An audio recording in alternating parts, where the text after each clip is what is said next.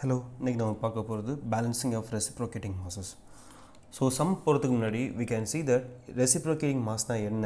அது ஏன் பேலன்ஸ் பண்ணணும்? எவ்வளோ பேலன்ஸ் பண்ண முடியும்? பேலன்ஸ் பண்ணாட்டு என்னென்ன எஃபெக்ட்லாம் இருக்குது இந்த மாதிரி விஷயங்கள்லாம் செக் பண்ணிக்கலாம். ஸோ ரெசிப்ரோகேட்டிங் மாஸ் அப்படின்னோடனே நமக்கு ஞாபகத்துக்கு வருது சிலிண்டர் அண்ட் பிஸ்டன் தான். ஸோ ஆக்சுவலாக இன்ஜினில் எப்படி இருக்கும் அப்படின்னா cylinder and piston will be like this so எங்கே கனெக்டிங் ராட் இருக்கும் தென் கிராங்க் இருக்கும். ஸோ நாமளே இதை பார்த்தோன்னே நம்ம என்ன நினைப்போம் அப்படின்னா கிராங்க் ரொட்டேட் ஆகுது தென் இது ஆசிலேட் ஆகுது தென் இது ரெசிப்ரோகேட் ஆகுதுன்னு நினைப்போம். பட் ஆக்சுவலாக இன்ஜினில் என்ன நடக்கும் அப்படின்னா எப்போ கம்பஷன் நடக்குமோ அப்போ கம்பஷன் வந்து ஹை ப்ரெஷர் வந்து பிஸ்டனை வந்து ப்ரெஸ் பண்ணும். பிஸ்டனை ப்ரெஸ் பண்ணதுன்னா இங்கே டவுன்வர்ட் மோஷன் இருக்கும். இந்த டவுன்வர்ட் மோஷன் தான் இந்த ரொட்டேட்டன் ரொட்டேஷனை காஸ் பண்ணும். ஸோ இன்ஜின் என்ன நடக்கும் அப்படின்னா இந்த reciprocating motion is converted into rotary motion so இதுதான் ஆக்சுவல் நடக்கும். ரோட்ரி மோஷன் அதாவது ரொட்டேட் ஆகிற எந்த எலமெண்ட்டையும் ரொம்ப ஈஸியாக மாஸ் பேலன்சிங் பண்ணிடலாம். நம்ம rotating of mass balance already ஒரு வீடியோ கொடுத்துருக்கோம். மென்ஷன் பார்த்து செக் பண்ணிக்கோங்க. ரெசிப்ரோகேட்டிங் ஸோ இந்த லீனியர் மோஷன் ஒன்று ஃப்ரண்ட் அண்ட் பேக்காக இருக்கலாம் இல்லை அப் அண்ட் டவுனாக இருக்கலாம். இந்த லீனியர் மோஷன் தான் மேக்ஸிமம் வைப்ரேஷனில் வந்து இன்வால்வ் ஆகிருக்கும் ஸோ அதை எப்படி நம்ம பேலன்ஸ் பண்ணி வைப்ரேஷன் ரெடியூஸ் பண்ணலாம் அப்படிங்கிறத பார்க்கலாம். ஸோ இதில் எடுத்துக்கிட்டோம் அப்படின்னா பிஸ்டன் அண்ட் சிலிண்டர் அரேஞ்ச்மெண்ட் இதில் என்னென்ன ஃபோர்ஸ்லாம் இருக்கும் அப்படின்னா இதில் மெயினாக ரெசிப்ரோகேட் ஆகிறது உள்ளே உள்ள பிஸ்டன் தான். ஸோ ரெசிப்ரோகேட்டிங் ஃபோர்ஸ் இருக்கும். The force towards because of the mass of reciprocating part இந்த டோட்டல் என்டையர் மாஸும் ஒரு ஃபோர்ஸை க்ரியேட் பண்ணும் towards தி சென்டர் பாயிண்ட் அப்புறம் இன்னும் என்ன இருக்கும் அப்படின்னா due to the mass inertia force will be there அது வந்து ஆப்போசிட் டைரக்ஷனில் இருக்கும். ரெசிப்ரோகேட்டிங் மாஸோட ஃபோர்ஸ் ரைட் சைடு அப்படின்னா இனர்ஷியா ஃபோர்ஸ் வந்து லெஃப்ட் சைடு இருக்கணும். Then where there is a contact there will be a reactional forces so இந்த இடத்துல ஸ்லைடிங் கான்டாக்ட் இருக்கும். அந்த கான்டாக்டில் நார்மல் ரியாக்ஷன் ஃபோர்ஸ் இருக்கும். ஸோ எஃப் ஒன் அப்படிங்கிறது normal reaction force எஃப்ஆருங்கிறது reciprocating ஃபோர்ஸோட acceleration force and then எஃப்ஐங்கிறது inertia force so these are the three different forces which is acting on the piston cylinder area and next thing the here is a crank and here is a crank pin crank pin வந்து ஃபிக்ஸ்டாக இருக்க மாதிரி இருக்கும் so இந்த entire லோடுமே எங்கே apply ஆகும் அப்படின்னா இந்த பாயிண்டில் போய் அப்ளை ஆகும் so that will be transferred through the crank to the pin so பின்னில் என்ன இருக்கும் அப்படின்னா நார்மலாக பேரிங் இருக்கும் ஸோ இந்த ஃபோர்ஸ் வந்து பேரிங் மேலே தான் அப்ளை ஆகும். So we can say that that one is bearing force it will be along the crank pin so எந்த ஆங்கிள் இருக்குன்னு எடுத்துக்கலாம் அப்படின்னா தீட்ட ஆங்கிளில் வந்து ஆக்ட் ஆகுதுன்னு எடுத்துக்கலாம். தீட்ட ஆங்கிள் இருக்கிறதுனால ஹரிசாண்டல் காம்பனண்ட் எஃப் பிஹெச்னும் வெர்டிக்கல் காம்பனண்ட் வந்து எஃப்பிவின்னு கன்சிடர் பண்ணிக்கலாம். So these are the various forces acting on the reciprocating system so இதில் inertia force and reciprocating force equal opposite that will be M omega square R cos theta plus cos two theta by N you have to memorize the formula இதோட derivation வேணும். ஏன் இந்த ஃபார்மில் create ஆச்சு அப்படின்னா you can verify the book and இதில் N என்ன அப்படின்னா ratio between length of the connecting rod and crank radius and தீட்டாங்கிறது அந்த dead angle இன்னசெட் angle மாஸுங்கிறது mass of reciprocating part angular velocity ரேடியஸுங்கிறது கிராங்கோட length and these are the formula for reciprocating force and inertia force நார்மலாக எப்படி இருக்கும் அப்படின்னா இந்த ரெண்டுமே ஒன்று ஈக்குவலாக இருக்கும் ஆப்போசிட் டைரக்ஷனாக இருக்கும். ஸோ ஒன்றுக்கு ஒன்று கேன்சல் ஆகி பேலன்ஸ் ஆயிரும். ஆனால் இந்த இடத்துல பேரிங்கில் உள்ள ஹரிசாண்டல் அதாவது என்ன பண்ணுறோம் அப்படின்னா இதில் உள்ள ஹரிசாண்டல் ஃபோர்ஸை மட்டும் கன்சிடர் பண்ணுறோம் என்னலாம் இருக்குது அப்படின்னா F I left side F R right side F P H right side so இந்த ரெண்டும் ஈக்குவலாக இருக்கும் ஆப்போசிட் டைரக்ஷனாக இருக்கும். ஸோ ஒன்றுக்கு ஒன்று கேன்சல் ஆயிரும். ஸோ ரிமைனிங் என்ன இருக்குது எஃப் பிஹெச் மட்டும் இருக்குது so automatically F R and F I are balanced the remaining force F P H to be balance இது மட்டும் அன்பேலன்ஸாக இருக்கும் ஸோ இந்த அன்பேலன்ஸ் ஃபோர்ஸை we have to balance that so அதுதான் நம்ம பண்ண போகிறோம் அது பண்ண போகிறதுக்கு நார்மலாக எஃப் பிஹெச் எடுத்துக்கிறோம். எஃப் பிஹெச்சுக்கும் சேம் ஃபார்முலா தான். இதை உள்ளே மல்டிப்ளை பண்ணோம் அப்படின்னா M omega square R cos theta M omega square R cos two theta by N இதை ப்ரைமரி அன்பேலன்ஸ் ஃபோர்ஸ்னு சொல்லுவோம். அண்ட் செகண்ட் உள்ளது செகண்டரி அன்பேலன்ஸ் ஃபோர்ஸ் சொல்லுவோம். ஸோ இந்த ஃபோர்ஸ் தான் நம்ம பேலன்ஸ் பண்ண போகிறோம் ஸோ நெக்ஸ்ட் எடுத்துக்கிறோம். எப்படி பேலன்ஸ் பண்ணலாம் அப்படின்னா இப்போ எல்லா மாதமே இங்கே ஆக்டாக தான் வச்சுக்கலாம். எம் ஒமேகா ஸ்கொயர் ஆர் இப்போது இப்படி ரொட்டேட் ஆகும்போது இப்போ எல்லா மாதம் இப்படி ஆக்ட் ஆகுதுன்னா இதை பேலன்ஸ் பண்ணுறதுக்கு என்ன பண்ணும்? அதுக்கு அதே அளவுள்ள மாசை ஆப்போசிட் டைரக்ஷனில் ஆட் பண்ணும். ஸோ எம் ஒமேகா ஸ்கொயர் ஆருங்கிறது சென்ட்ரிஃபிகல் ஃபோர்ஸு அண்ட் அதுக்கு ஆப்போசிட்டில் அப்படியே பி ஒமேகா ஸ்கொயர் பி அதாவது எம்ங்கிறது மாஸ்னால் பிங்கிறது நீ சேர்க்க போகிற அன்ப பேலன்சிங் மாஸோட வெயிட் மாஸு தென் ஆறுங்கிறது கிராங்க் ரேடியஸ் அப்படின்னா பிங்கிறது நீ ஆட் பண்ண போகிற மாஸோட ரேடியஸ் ஸோ இங்கே எப்படி இருக்கோ அதுக்கு ஆப்போசிட்டில் அதே மாதிரி ஒரு ஒரு மாஸை ஆட் பண்ண அப்படின்னா அதை பேலன்ஸ் பண்ணலாம். ஸோ நார்மலாக ரொட்டேட்டிங் மாஸை வந்து நம்மளால் கம்ப்ளீட்டாக பேலன்ஸ் பண்ண முடியும். ஆனால் ரெசிப்ரோகேட்டிங் மாஸை கம்ப்ளீட்டாக பேலன்ஸ் பண்ண முடியாது. ஏன் அப்படின்னா ரெசிப்ரோகேட்டிங் மாஸில் ரெசிப்ரோகேட் ஆகும்போது ரெசிப்ரோகேட்டிங் கப்புள் ஃபார்ம் ஆகும். அந்த ரெசிப்ரோகேட்டிங் கப்புளை வந்து நம்மளால் பேலன்ஸ் பண்ண முடியாதுங்கிறதுனால இதை பார்ஷியலாக மட்டும்தான் பேலன்ஸ் பண்ண முடியும். இது எப்போவுமே ஞாபகம் வச்சுக்கணும். ரொட்டேட்டிங் மாஸ் அப்படின்னா கம்ப்ளீட்டாக பேலன்ஸ் பண்ண முடியும். Reciprocating மாஸில் we can partially balance that's it and இப்போ பார்ஷியலாக பேலன்ஸ் பண்ணதுக்கப்புறம் ரிமைனிங் உள்ள அன்பேலன்ஸ் ஃபோர்ஸ் எதை காஸ் பண்ணும் அப்படின்னா நார்மலாக ரெண்டு காம்பனண்ட் இருக்கும். Horizontal component and vertical component நம்ம என்ன வச்சுக்கலாம் அப்படின்னா பி ஹச்னு வச்சுக்கலாம் இதை பீன் வி வச்சுக்கலாம். Horizontal compound and vertical compound இருக்கும். இது ஹரிசாண்டல் காம்பவுண்ட் வந்து ட்ராக்டிவ் ஃபோர்ஸை வந்து காஸ் பண்ணும். வெர்டிக்கல் காம்பவுண்ட் வந்து ஸ்வேயிங் கப்பில் ஃபார்ம் பண்ணும். ஸோ ட்ராக்டிவ் ஃபோர்ஸுங்கிறது ஹரிசாண்டலில் உள்ள variation tractive force and vertical ஃபோர்ஸுங்கிறது vertical ஃபோர்ஸால் வர்றது வந்து ஸ்வேயிங் கப்பல் ஸ்வேயிங் கப்பல் அப்படின்னா இப்படி வெர்டிக்கலாக வந்து ஒரு வேவ் மாதிரி ஃபார்ம் பண்ணும். அதாவது நார்மலாக லொக்கோமோட்டிவ் இன்ஜினில் இருக்கும். இதான் லொக்கோமோட்டிவ் இன்ஜின் அப்படின்னா இங்கே தான் ஃபோர்ஸ் அப்ளை ஆகுனா ஹரிசாண்டலாக உள்ள ஃபோர்ஸ் வந்து ட்ராக்டிவ் ஃபோர்ஸும்பாங்க வேர்ட்டிக்கலாக வீல் வந்து வேவியேஷன் இருக்கும். லைட்டாக அப்படி குதிச்சு குதிச்சு வரும்.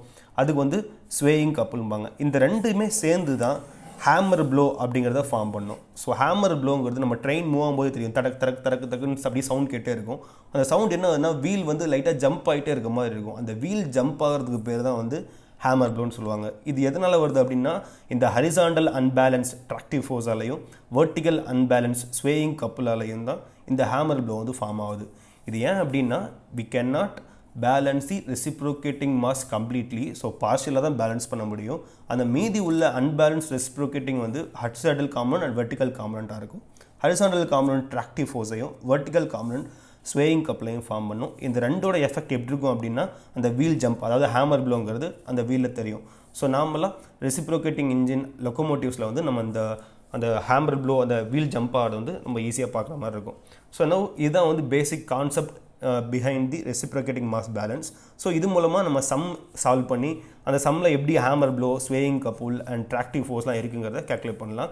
You have to memorize the formula for tractive force and swaying couple and hammer blow and now we can go to the problem so இதில் ப்ராப்ளம் என்ன சொல்லியிருக்காங்க அப்படின்னா அண்ட் இன்சைட் சிலிண்டர் லொக்கமோட்டிவ் ஆ முக்கியமான சொல்ல மாட்டேன் இன்சைட் சிலிண்டருங்கிறது நார்மலாக வந்து டபுள் சிலிண்டர் தான் இருக்கும். டபுள் சிலிண்டர் வீலுக்கு உள்ளே இருந்தது அப்படின்னா அதை inside சிலிண்ட் inside cylinder locomotive mention பண்ணுவாங்க. சப்போஸ் சிலிண்டர் வந்து அவுட் சைடும் வீல் வந்து இன்சைடும் இருந்தது அப்படின்னா அதை வந்து அவுட் சைட் சிலிண்டர் லொக்கமோட்டிவ்னு சொல்லுவாங்க. ஸோ இந்த சம்மில் சொல்லியிருக்கிறது inside cylinder locomotive it has cylinder centre line point seven metre apart so ரெண்டு சிலிண்டர் வந்து பாயிண்ட் செவன் மீட்டர் டிஸ்டன்ஸில் இருக்குது ஸோ பிங்கிறது ஒரு சிலிண்டர் சிங்கிறது ஒரு சிலிண்டர் ரெண்டுக்கும் இடையில உள்ள டிஸ்டன்ஸ் வந்து point seven metre and stroke length point six mm so stroke வந்து பாயிண்ட் சிக்ஸ் மீட்டர் அப்போ ரேடியஸ் என்ன இருக்கும் அப்படின்னா ஸ்ட்ரோக் பை டூன்னு இருக்கும். So radius point three metre so இந்த சிலிண்டரோட ரேடியஸ் என்ன இருக்கும் அப்படின்னா பாயிண்ட் த்ரீ மீட்டராக இருக்கும். ஸோ பாயிண்ட் த்ரீ மீட்டர் ரேடியஸில் பி அண்ட் சி சிலிண்டர் இருக்குது with a distance of point seven metre அப்புறம் என்ன சொல்கிறாங்க அப்படின்னா rotating mass one fifty kg per cylinder reciprocating mass one eighty kg per cylinder அதாவது ஒரு சிஸ்டம் வந்து ரெசிப்ரோகேட் ஆகுது ரொட்டேட் ஆகுது அப்படின்னா அதில் ரொட்டேட் ஆகிற பார்ட்டோட மாஸ் என்ன? ரெசிப்ரோகேட் ஆகிற பார்ட்டோட மாஸ் என்ன? ஒரு சிலிண்டருக்கு அதோட ரெசிப்ரோகேட்டிங் மாஸ் வந்து ஒன் எயிட்டி கேஜின்னு சொல்லியிருக்காங்க. ரொட்டேட்டிங் மாஸ் வந்து ஒன் ஃபிஃப்டி கேஜின்னு சொல்லியிருக்காங்க. Then wheel centre lines one ஃபிஃப் one point five M apart ரெண்டு வீல் இருக்கும். ரெண்டு வீலுமே one point five metre distance அப்பார்ட்டில் இருக்குது அப்படி பார்த்தோம் அப்படின்னா இவ்வளோ தூரம் பாயிண்ட் செவனு மீதி இருக்கிறது point eight so point four and point four டோட்டலாக வந்து ஒன் பாயிண்ட் ஃபைவ் கிடச்சிரும். அந்த இடத்துல வீல் வந்து ப்ளேஸ் பண்ணிக்கணும். Then the cranks are at right angle so எப்படி ப்ளேஸ் பண்ணியிருக்காங்கன்னா நாமளும் ஒரு நான் த்ரீ டயக்ராம் போட்டு காமிக்கிறேன். இது ஒரு வீல் வச்சுக்கலாம். தென் இங்கே ஒரு வீல் வச்சுக்கலாம். ரெண்டு வீலுக்குள்ள டிஸ்டன்ஸ் வந்து ஒன் பாயிண்ட் ஃபைவ் மீட்டர் இங்கே ஒரு கிராங்க் இருக்குது இங்கே ஒரு கிராங்க் இருக்குது இங்கே ஒரு சிலிண்டர் இங்கே ஒரு சிலிண்டர் இந்த டபுள் சிலிண்டர் இன்சைடில் இருக்குது இந்த ரெண்டு கிராங்குக்கு உள்ள ஆங்கிள் வந்து நைன் டிகிரின்னு சொல்லியிருக்காங்க. ஸோ ரெண்டு wheel one point five metre apart அப்போ ரெண்டு cylinder point seven metre apart ஒன்றுக்கு ஒன்று வேர்ட்டிக்கலாக இருக்குது அப்படிங்கிற மாதிரி சொல்லியிருக்காங்க. And then the cranks are at right angles two by third of reciprocating mass to be balance அதாவது நம்ம என்ன சொன்னோம் அப்படின்னா ரெசிப்ரோகேட்டிங் மாஸை வந்து பார்ஷியலாக தான் பேலன்ஸ் ஆகிருக்கும் ஃபுல்லாக பா பண்ண முடியாது. அந்த மீதி எதை நம்ம பேலன்ஸ் பண்ணணும் அப்படின்னா two by three of reciprocating mass இப்போ அது வந்து முப்பது கேஜி அப்படின்னா இருபது கேஜி பேலன்ஸ் பண்ணாமல் இருக்குது அதாவது two by third of thirty kg வந்து பேலன்ஸ் பண்ணாமல் இருக்குது அதை நம்ம பேலன்ஸ் பண்ணணும் ஸோ எவ்வளோ மாஸ் இருக்கோ அதில் டூ பை தேர்டை வந்து நம்ம பேலன்ஸ் பண்ணணும் by masses at point six metre radius so இந்த வீலோட ரேடியஸ் என்ன சொல்லியிருக்காங்க அப்படின்னா பாயிண்ட் சிக்ஸ் மீட்டர் அப்படி சொல்லியிருக்காங்க இந்த வீலை ஆட் பண்ணுறது மூலமாக தான் நம்ம என்ன பண்ண போகிறோம் அப்படின்னா இது வந்து பேலன்ஸ் பண்ண போகிறோம் ஸோ வீலோட எட்ஜில் தான் வந்து நம்ம வந்து பேலன்ஸ் மாஸ் ஆட் பண்ண வேண்டியது இருக்கும். ஸோ அதோட ரேடியஸ் வந்து பாயிண்ட் சிக்ஸ் மீட்டர் மென்ஷன் பண்ணியிருக்காங்க. கிராங்கோட ஸ்பீட் என்ன அப்படின்னா த்ரீ ஹண்ட்ரட் ஆர்பிஎம் இதெல்லாம் சம்மில் கொடுத்துருவாங்க. நம்ம என்ன கேல்குலேட் பண்ண சொல்லியிருக்காங்க அப்படின்னா we have to calculate the tractive force swaying couple and hammer blow அது சொல்லியிருப்பாங்க. நான் எழுதலை. So you have to concentrate on it so இது இப்போ எப்படி இந்த சம்மை சால்வ் பண்ணலாம் அப்படின்னு பார்க்கலாம். ஸோ இனிஷியலாக கொடுத்துருக்க டேட்டாக்கு நம்ம வந்து கன்ஃபிகரேஷன் டயக்ராம் ட்ரா பண்ணிக்கலாம். அதாவது பாயிண்ட் செவன் மீட்டர் ரெண்டு cylinder then one point five metre அப்பார்ட்டில் வந்து ரெண்டு வீல் அது ரேடியஸ் வந்து பாயிண்ட் சிக்ஸ் இதோட பாயிண்ட் சிக்ஸ் தென் இது point three point three we can draw in detail and then mass என்ன பார்த்தா அப்படின்னா டோட்டல் மாஸ் அப்படின்னா எம்பி அண்ட் எம்சி சிலிண்டரோட மாசும் இதோட மாஸும் ஒரே மாதிரி தான் இருக்கும். எதெல்லாம் பேலன்ஸ் பண்ண அப்படின்னா ரொட்டேட்டிங் மாஸை பேலன்ஸ் பண்ணணும் ரெசிப்ரோகேட்டிங் மாஸை பேலன்ஸ் பண்ணணும் ரொட்டேட்டிங் மாஸை வி கேன் கம்ப்ளீட்லி பேலன்ஸ் அதனால் ரொட்டேட்டிங் மாஸ் ஃபுல்லாகவே போட்டிருப்பீங்க. ஸோ எம் ஒன்றுங்கிறது ரொட்டேட்டிங் மாஸ் எம் டூங்கிறது ரெசிப்ரோகேட்டிங் மாஸ் ரெசிப்ரோகேட்டிங் மாஸ் வந்து பார்ஷியலி பேலன்ஸ் தான். எவ்வளோ பேலன்ஸ் பண்ணோம் அப்படின்னா two by third so two by third of that reciprocating mass சம்லேயே கொடுத்துருக்காங்க ரொட்டேட்டிங் மாஸ் வந்து one fifty kg reciprocating one eighty so one fifty plus two by third of one எயிட்டின்னு போட்டால் two seventy KG so இதுதான் entire mass இந்த மாசை நம்ம balance பண்ண போகிறோம் இந்த மாஸில் எதெல்லாம் இருக்குது அப்படின்னா ரொட்டேட்டிங் மாஸ் ஃபுல்லாக இருக்குது ரெசிப்ரோகேட்டிங் மாஸில் டூ பை தேர்ட் இருக்குது இதை போட்டோம் அப்படின்னா நமக்கு வந்து மாஸ் கிடச்சிரும். இந்த மாதம் நம்ம பேலன்ஸ் பண்ண வேண்டியிருக்கும். இது இது வந்து ஒரு சிலிண்டருக்கு இதே மாதிரி ஒரு சிலிண்டர் டூ செவன்ட்டி கேஜி இன்னொரு சிலிண்டர் டூ செவன்ட்டி கேஜி ஒவ்வொரு சிலிண்டர்லையும் ரெசிப்ரோகேட்டிங் பார்ட்டும் இருக்கும் ரொட்டேட்டிங் பார்ட்டும் இருக்கும். ஸோ இப்போ கிளியராக புரிஞ்சுதா? ஸோ இப்போ வந்து என்ன பண்ணுறோம்னா we have to form a table column இந்த டேபிள் காலம் மெத்தடை ரொட்டேட்டிங் மாஸையும் நம்ம பார்த்துருப்போம். You can refer my previous video in dynamics of machineries so இது ஆக்சுவலாக பார்த்தா நாலு மாஸ் இருக்கும். ஏயும் டியும் வீலு பியும் சியும் சிலிண்டர் நான் மென்ஷன் பண்ணிக்கிறேன். சிலிண்டர் அண்ட் சிலிண்டர் இது வந்து வீல். இது வந்து வீல். ஸோ ஏதாவது ஒன்று ரெஃபரன்ஸ் பாயிண்ட்டாக வச்சுக்கணும். நான் ஏ வந்து ரெஃபரன்ஸ் பாயிண்ட்டாக வச்சுக்கிறேன். வச்சுட்டு இப்போ நம்ம எதோட மாஸ்லாம் தெரியும் அப்படின்னா ரெண்டு சிலிண்டரோட மாஸ்மே தெரியும் ஒவ்வொரு சிலிண்டருமே டூ செவன்ட்டி கேஜி இருக்கும் so two seventy two seventy வீலோட mass தெரியுமானா தெரியாது மாஸ் ஏவும் தெரியாது மாஸ் டியும் தெரியாது தென் வீலோட ரேடியஸ் தெரியும் பாயிண்ட் சிக்ஸ் மீட்டர் சிலிண்டரோட ரேடியஸ் பாயிண்ட் த்ரீ மீட்டர் அடுத்த சிலிண்டர் பாயிண்ட் த்ரீ அடுத்தது point six so point six point three point three and point six so இது வந்து மாஸ் இது radius force by omega square என்னன்னா மாஸை ரேடியஸை மல்டிப்ளை பண்ணணும் so MA into point six point six A அப்புறம் two seventy into point three eighty one two seventy into point three eighty one MD into point six point six MD then அடுத்து வந்து distance from reference point நீ எந்த மாதம் reference பாயிண்ட்டாக எடுத்திருக்கியோ அதுலேருந்து மீதி உள்ளதுக்கெலாம் எவ்வளோ டிஸ்டன்ஸ்னு பார்க்கணும். இப்போ ஏ தான் நான் ரெஃபரன்ஸாக எடுத்திருக்கேன் அப்படின்னா பிக்கும் ஏக்கும் என்ன டிஸ்டன்ஸ் அப்படின்னா பாயிண்ட் ஃபோர் இந்த தூரம் மட்டும். அதுக்கப்புறம் ஏக்கும் சிக்கும் என்ன தூரம்? இந்த தூரம். Point four plus point seven என்ன அப்படின்னா ஒன் பாயிண்ட் ஒன் அதுக்கப்புறம் ஏக்கும் டிக்கும் உள்ள தூரம் என்ன அப்படின்னா ஒன் பாயிண்ட் ஃபைவ் அகைன் சொல்கிறேன் நீ ரெஃபரன்ஸ் பாயிண்ட்டாக எந்த எடுத்திருக்கியோ அதுலேருந்து ரிமைனிங் மாசஸ்க்குலாம் என்ன டிஸ்டன்ஸ் தான் மென்ஷன் பண்ணணும் அதுதான் எல் ஏன் நான் ஏவை வந்து ரெஃபரன்ஸ் பாயிண்டாக எடுத்திருக்கேன் அப்படின்னா எனக்கு ஏபிசிடி இந்த நாளில் வந்து பியும் சியும் வேல்யூ தெரியும். Two seventy KG two seventy KG ஏக்கும் டிக்கும் வேல்யூ தெரியாது.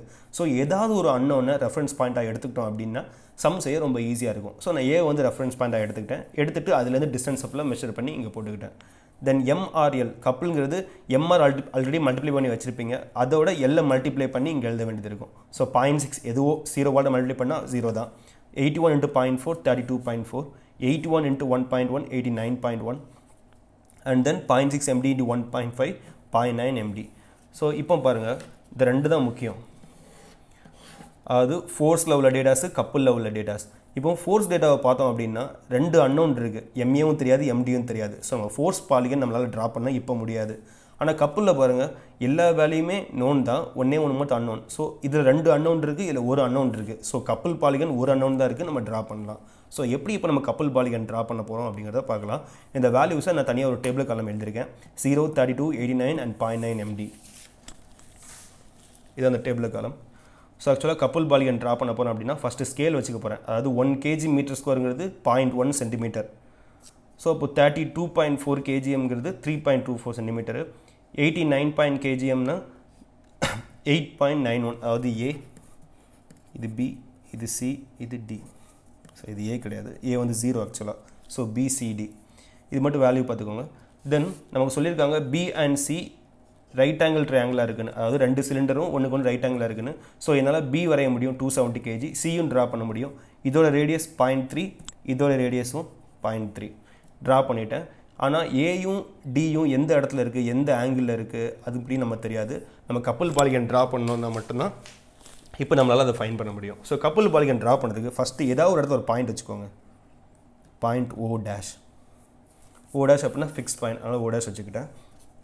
இப்போ வந்து ஃபஸ்ட்டு என்ன பண்ணோம் அப்படின்னா இந்த ஓ அப்படின்னா ஃபஸ்ட்டு பி மாஸை ட்ரா பண்ணணும் தென் சி ட்ரா பண்ணணும் தென் டி ட்ரா பண்ணணும். இப்போ அந்த டேபிள் காலம் பார்த்தீங்க அப்படின்னா டேபிள் காலமில் மொத்தம் நாலு வேல்யூ இருக்கும். A B C D A வந்து ஜீரோ ஸோ நம்ம ஏவை ட்ரா பண்ண போகிறதே இல்லை.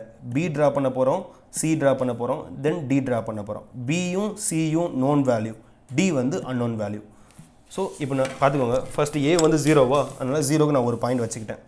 தென் பிங்கிறது என்ன அப்படின்னா thirty two point four positive எல்லாமே பாசிட்டிவ் தான். பாசிட்டிவ் அப்படின்னா சென்டர் பாயிண்ட்லேருந்து மாஸுக்கு ஒரு லைன் ட்ரா பண்ணோம் அப்படின்னா அது எந்த டைரக்ஷனில் போகுதோ அதே டைரக்ஷனில் லைன் ட்ரா பண்ணணும். சென்டர் பாயிண்ட்லேருந்து மாஸுக்கு ஒரு லைன் ட்ரா பண்ணோம் அப்படின்னா அந்த லைனோட டைரெக்ஷன் எப்படி இருக்கோ அதே டைரக்ஷனில் கப்பல் பாலிகன்னும் இருக்கும். வேல்யூ என்ன? த்ரீ பாயிண்ட் டூ ஃபோர் சென்டிமீட்டரா ஸோ அந்த லைனில் இருந்து த்ரீ பாயிண்ட் டூ ஃபோர் சென்டிமீட்டருக்கு ஒரு லைன் ட்ரா பண்ணோம் அப்படின்னா அதுதான் வந்து பி டேஷ் அகெயின் சொல்கிறேன் இதோட டைரக்ஷன் எப்படி இருக்கும் அப்படின்னா சென்டர் பாயிண்ட்லேருந்து பிங்கிற மாஸ்க்கு லைன் ட்ரா பண்ணோம் அப்படின்னா ஹரிசாண்டலாக இருக்கா? ஹரிசாண்டல் டுவர்ட்ஸ் ரைட் சைடு அதே மாதிரியே ஹரிசாண்டல் டுவர்ட்ஸ் ரைட் சைடில் இருக்கும். இதோட வேல்யூ வந்து thirty two point four KG meter square அதாவது இங்கே டைமென்ஷன் ட்ராயிங் டைமென்ஷன் இருக்கும். ட்ராயிங் டைமென்ஷனில் லைன் ட்ரா பண்ணணும். ஆக்சுவல் டைமென்ஷனை ரைட் பண்ணணும். சரிங்களா?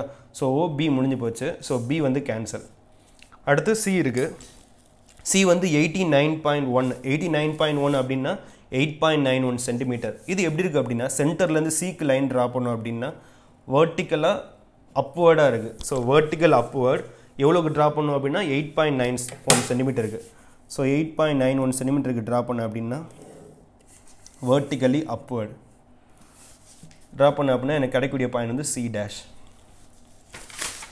ஸோ இந்த ரெண்டும் நோன் வேல்யூ நான் ட்ரா பண்ணி முடிச்சிட்டேன். ஸோ இனிமேல் இருக்கிறது ஒன்றே ஒன்று தான் அது இதை ஒரு பாலிகன் மாதிரி ஃபார்ம் பண்ணோம் அப்படின்னா அந்த ரிமைனிங் லைன் தான் அதில் கொடுத்துருக்காது. ஸோ நான் வந்து ஒரு பாலிகனாக கவர் பண்ணி முடிக்கிறேன்.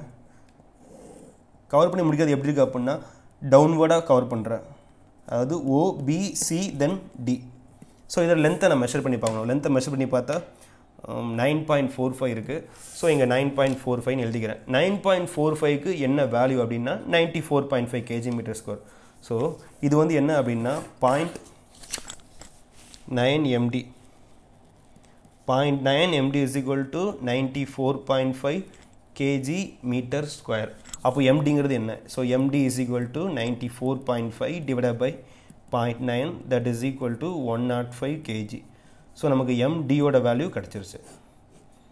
MD is equal to one naught five KG இது கப்பல் பாலிகன் ட்ரா பண்ணோம் அப்படின்னா கிடச்சிரும். இதே மாதிரியே ஃபோர்ஸ் பாலிகனும் ட்ரா பண்ணி முடிக்கணும். ஃபோர்ஸ் பாலிகன் வேல்யூ பார்த்தோம் அப்படின்னா நமக்கு அந்த டேபிளில் காலமாக இருக்கும்.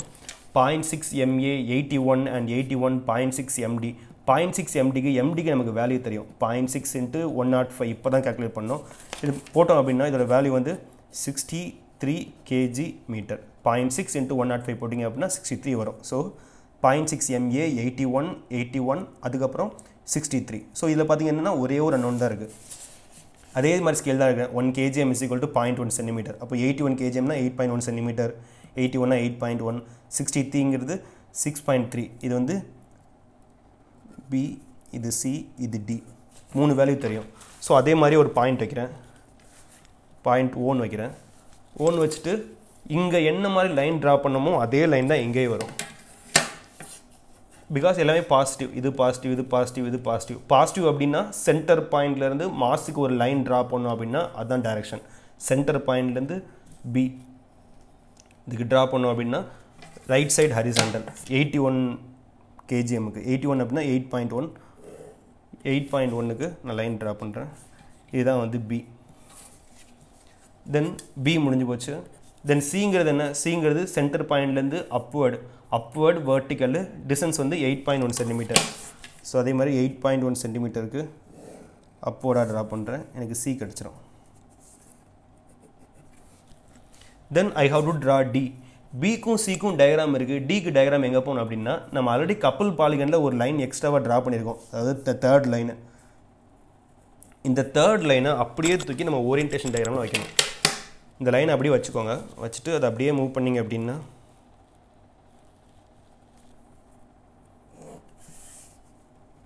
இதுதான் வந்து மாஸ் டி பாயிண்ட் சிக்ஸில் இப்போ இந்த ஆங்கிள் மெஷர் பண்ணிக்கோங்க.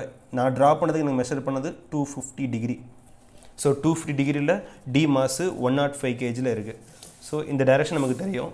இப்போ தெரிஞ்சிச்சு பாசிட்டிவ் தான். ஸோ சென்டர்லேருந்து மாஸுக்கு ட்ரா பண்ணோம் அப்படின்னா downward inclined downward inclined distance வந்து six point three centimeter so six point three சென்டிமீட்டருக்கு டவுன்வேர்ட் இன்க்ளைன் ட்ரா பண்ணேன் அப்படின்னா எனக்கு டி கிடச்சிரும்.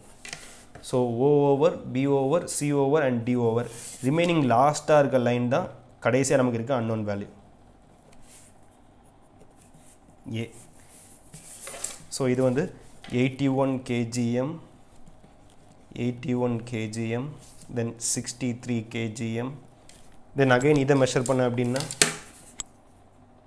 இதுவுமே எனக்கு சிக்ஸ் பாயிண்ட் த்ரீ தான் வருது. சிக்ஸ் பாயிண்ட் த்ரீ அப்படின்னா சிக்ஸ் த்ரீ கேஜிஎம் தான். So six three KGM is equal to நமக்கு என்ன வேல்யூ வருது அப்படின்னா point six MA so point six MA is equal to sixty three KGM அப்படின்னா MA is equal to sixty three divide by point சிக்ஸ்னு போடணும். Sixty three divide by point சிக்ஸ்னு போட்டோம் அப்படின்னா என்ன வேல்யூ வருதுன்னா one naught five KG MA so mass ஏவும் one not five KG தான் மாஸ் டியும் ஒன் நாட் ஃபைவ் கேஜி தான். தென் மாஸ் ஏ ட்ரா பண்ணதுக்கப்புறம் இந்த லைன் எப்படி இருக்குது அப்படின்னா இன்க்ளைனாக டவுன்வேர்டாக இருக்குது அந்த லைனை அப்படியே தூக்கிட்டு போய் உன்னோட ஓரியன்டேஷன் டயக்ராமில் வைக்க வேண்டியது இருக்கும். Mass A one naught five KG so இதோட ஆங்கிளை மெஷர் பண்ணோம் அப்படின்னா ஏவோட ஓரியன்டேஷன் கிடச்சிரும். எனக்கு என்ன வந்துச்சு அப்படின்னா அப்ராக்சிமேட்டாக டூ ஹண்ட்ரட் டிகிரி வந்துச்சு. ஸோ டியை ரெப்ரசென்ட் பண்ண அதாவது இந்த லைன் கப்புள் பாலிகனோட லாஸ்ட் லைனை தூக்கி வச்சேன் அப்படின்னா எனக்கு மாஸ் டி கிடைக்கும். ஃபோர்ஸ் பாலிகனோட லாஸ்ட் லைனை தூக்கி அப்படியே வச்சேன் அப்படின்னா எனக்கு வந்து என்ன கிடைக்கும் அப்படின்னா ஏ ஏவோட டைரக்ஷன் ஓரியன்டேஷன் கிடைக்கும். ஸோ இப்படி தான் வந்து couple polygon and force polygon draw பண்ணிவிட்டு மாஸ் ஏவையும் மாஸ் டியையும் கேல்குலேட் பண்ணணும். Once mass A and mass D calculate பண்ணிட்டோம் அப்படின்னா நம்ம traction force and then swaying couple hammer blow அது எல்லாத்தையும் கேல்குலேட் பண்ணிடலாம். அதுக்கு மூணுமே வந்து ஃபார்முலாஸ் மட்டும் தான் யூ கேன் டேரக்ட்லி அப்ளை இந்த formula you can get the answer so எப்படி அப்ளை பண்ணுறோன்னு பார்த்துக்கோங்க.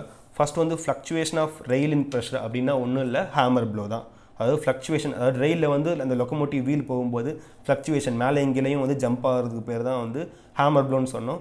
ஸோ அதுதான் அவங்க மென்ஷன் பண்ணியிருக்காங்க. ஃப்ளக்சுவேஷன் இன் ரயில் ப்ரெஷர் அப்படின்னா அது ஹேமர் ப்ளோ தான். ஸோ அதோட ஃபார்முலா என்ன அப்படின்னு பார்த்தோம் அப்படின்னா B is equal to that formula வந்து பி ஒமேஸ் ஸ்கொயர் பி பிங்கிறது அந்த balancing of mass omega square angular velocity square பிங்கிறது எங்கே ஆட் பண்ண போகிறீங்களோ அதோட டிஸ்டன்ஸ் அதாவது நம்ம இனிஷியலாக சொல்லும் போதே சொன்னோம் இங்கே ஒரு வீல் இருக்கும் இங்கே ஒரு வீல் இருக்கும் ஒரு ஷாஃப்ட்டு இங்கே சிலிண்டர் இங்கே ஒரு சிலிண்டர் இந்த வீலோட எஜ்ஜில் தான் வந்து மாஸ் ஆட் பண்ணுவாங்க. நார்மலாக நீங்கள் ட்ரெயின் ட்ரெயினோட வீலை பார்த்தீங்க அப்படின்னா பல காலத்து இந்த வீல் தான் வந்து இப்படி ஒரு போர்ஷன் இருக்கும். ஒரு செமி சர்க்கிள் மாதிரி ஒரு போர்ஷன் இருக்கும். இதுதான் வந்து அந்த அடிஷ்னல் மாஸ் ஃபுல்லாக சர்க்கிள் இருக்க மாதிரி இருக்கும். கீழே மட்டும் ஒரு செமி சர்க்கிள் போர்ஷன் இருக்க மாதிரி இருக்கும். இந்த செமி சர்க்கிள் போர்ஷன் தான் வந்து அந்த ரெஸ் பேலன்சிங் ஆஃப் மாஸ்ம்பாங்க எக்ஸ்ட்ரா மாஸ் ஆட் பண்ணியிருப்பாங்க பேலன்ஸ் பண்ணுறதுக்காக ஸோ நம்ம எந்த இடத்துல ஆட் பண்ண போகிறோம் மாஸ் அப்படின்னா வீலோட ரேடியஸில் தான் வந்து ஆட் பண்ண போகிறோம் வீலோட ரேடியஸ்ங்கிறது பாயிண்ட் சிக்ஸ் மீட்டர் தான். ஒமேகாங்கிறது two by N by sixty and then பிங்கிறது என்ன அப்படின்னா C into M to M into MD mass of D and then total mass அதில் ரெசிப்ரோக்கெட்டிங் எவ்வளவு? இன்ட்டு சிங்கிறது அதோட டூ பை தேர்டு மோமில். டூ பை தேர்டு தான் வந்து நம்ம பேலன்ஸ் பண்ண போகிறோம் so two by third of mass எந்த மாஸ் அப்படின்னு பார்த்தோன்னா டோட்டல் மாஸில் எம் டூ அதோட பேலன்சிங் எம்டி ஸோ இது வந்து ஒரு formula we have to memorize M we have to calculate the B value and then omega value and then B value small B value small பிங்கிறது அந்த ரேடியஸோட distance தான். அது point six metre போட்டால் நமக்கு hammer flow வந்து நியூட்டனில் கிடைக்கும். Suppose சம்மில் வந்து ஹேமர் ப்ளோ கொடுத்தாங்க அப்படின்னா சி வந்து அன்னோனாக இருக்கும். அதில் கேல்குலேட் பண்ணுற மாதிரி இருக்கும். And then tractive force formula இருக்கும். பாசிட்டிவ் வந்து மேக்ஸிமம் ட்ராக்டிவ் ஃபோர்ஸு மைனஸ்க்கு நெகட்டிவ் அதாவது மினிமம் ட்ராக்டிவ் ஃபோர்ஸு ஸோ அதே தான் ஒன் மைனஸ் சிங்கிறது two by three M டூங்கிறது reciprocating mass one eighty and omega square then R two R இதெல்லாம் போட்டோம் அப்படின்னா ஆறுங்கிறது ஏன் இந்த ஆறுனா ட்ராக்டிவ் ஃபோர்ஸுங்கிறது சிலிண்டரில் தான் இருக்கும். நம்ம அப்போ வீலை தள்ளிட்டுக்கூடாது அதுதான் ஆறுன்னு போட்டிருக்கோம். ப்ளோ மட்டும்தான் வீலோட எஜ்ஜில் இருக்கும். வீலோட எஜ்ஜில் மாஸ் சேர்க்க போகிறோம் நல்லா பாயிண்ட் சிக்ஸ் போட்டிருப்போம். ட்ராக்டிவ் ஃபோர்ஸுக்கும் ஸ்வேயிங் கப்பலும் எங்கே இருக்கும் அப்படின்னா சிலிண்டரில் தான் இருக்கும். ஸோ சிலிண்டரோட ரேடியஸ் அப்படின்னு பார்த்தோம் அப்படின்னா அது பாயிண்ட் த்ரீ தான். ஸோ ஆறுங்கிறது பாயிண்ட் த்ரீ மென்ஷன் பண்ணுற மாதிரி இருக்கும். ஸோ டேரக்ட் சப்ஸ்டியூஷன் தான். C two by three M two one eighty ஒமேகானா two by N by sixty ஆறுங்கிறது point three we can get the value and similarly C one by two by three M டூங்கிறது one eighty KG omega square two by N by sixty ஆறுங்கிறது point three by directly substituting the value we can get the swaying couple and thank you